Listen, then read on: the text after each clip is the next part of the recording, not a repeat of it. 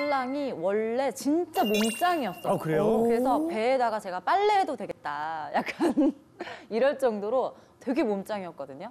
근데 결혼을 딱 하고 나서 정말 아예 안 하시더라고요.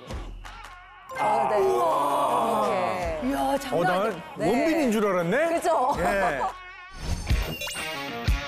다시 시작해봐 내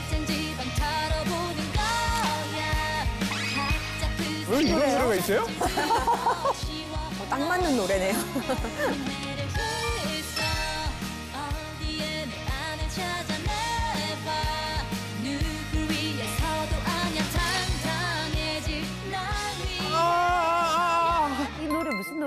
아 이게 예전에 제가 다이어트 한참 할 때 다이어트 송을 하나 만들어봤어요 재미로.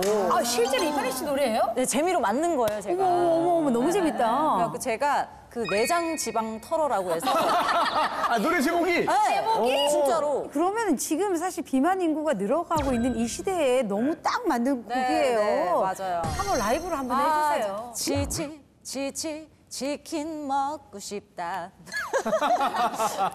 족발, 닭발, 사발, 병나발. 털어 털어 스트레스 날려. 맞아요. 털어 털어 내장 지방 털어. 야야 예.